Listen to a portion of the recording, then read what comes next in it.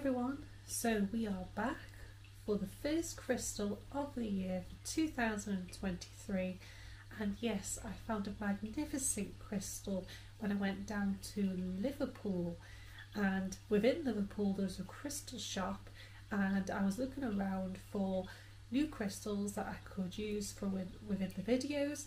And I came across the crystal Buddha stone and I thought oh okay this is a rare piece. I've not spoke about it in a video so I thought it'd be good to speak about Buddha stone so it's a lovely green dark green silky texture colour.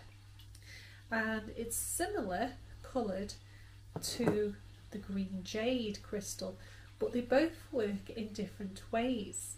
So the Buddha crystal is associated with the heart chakra, so opening up the heart chakra.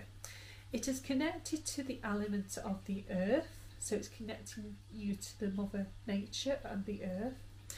And the hardness of the crystal is 2.5, so it's about 4. So the hardness is such a delicate crystal, so it's best cleansed with sage and sound.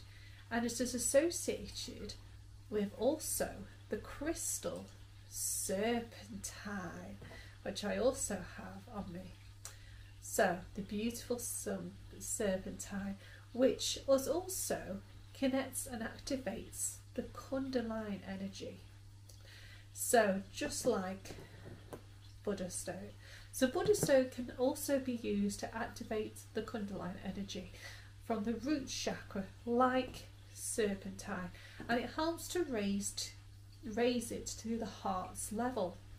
So it is most often used to increase the flow of energy throughout the body, increasing your motivation to move forward with things in life. So you can also use rose quartz and Buddha stone together as they open up the heart chakra.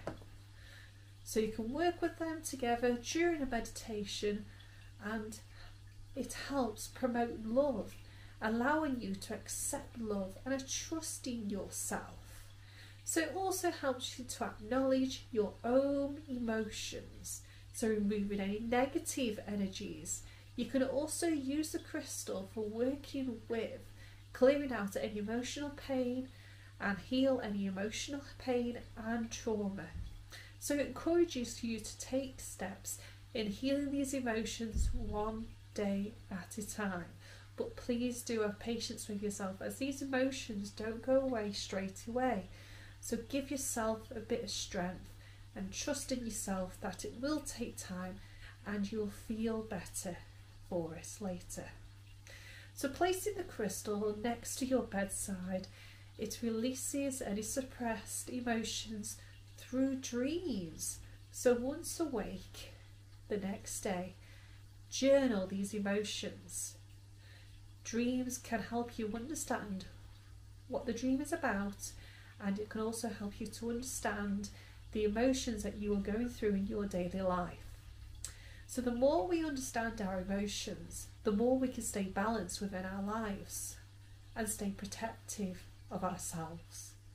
So it helps you to make positive decisions and actions and stay focused and help you to be a bit more organised within yourself and within your workplace.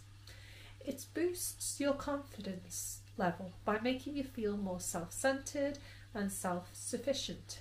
Teaches you to be a bit more patient with yourself and others, not to rush into situations and try not to be negative, bring a bit more positiveness into your life. So Buddha Stone helps you to reconnect again with your belief. Many people don't like what you do, how you how you go about things, and again, it's not about them. It's about yourself.